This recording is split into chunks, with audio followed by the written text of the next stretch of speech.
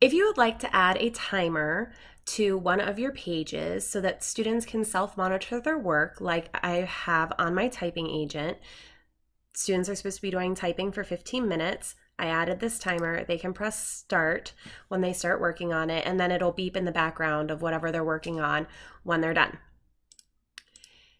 To do that, you're going to visit this website, which I will attach with this video. You can click Edit Timer and you can change how many minutes. You can also change the sound that goes off at the end of the timer. You can give it a title if it's reading, whatever. Start. Okay. You want to make sure that it's at the beginning before you scroll down for the embed code. Other words, when the students click on your page, the timer will automatically start without the kids clicking on it. If I scroll all the way down, I see that there is an embed code. I click on embed. I'm going to copy this code right here, copy. Okay.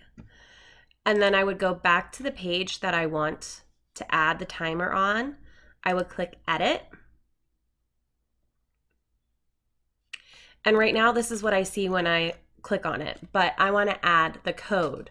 To add the code, I click HTML editor and then I would add my code down here at the bottom. And this is the code for the timer that I just added. And then you press save. And you have an interactive timer for the students at the bottom.